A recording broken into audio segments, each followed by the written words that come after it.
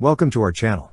Don't forget to subscribe and put likes, because your support is important for us. And here we go. The BV-206S, an armored iteration of the BV-206, stands out as an articulated all-terrain tracked carrier. It sees active duty in several countries, including Sweden, France, Germany, Italy, Spain, and others. Notably, in 2023, Italy supplied some of its BV-206S armored tracked carriers to Ukraine to bolster defenses against the Russian invasion. Engineered to excel in Arctic, desert, or jungle environments, the BV-206S capitalizes on its articulated structure, offering distinct advantages. Its exceptional mobility extends across challenging landscapes, encompassing swampy terrain, mud, and snow.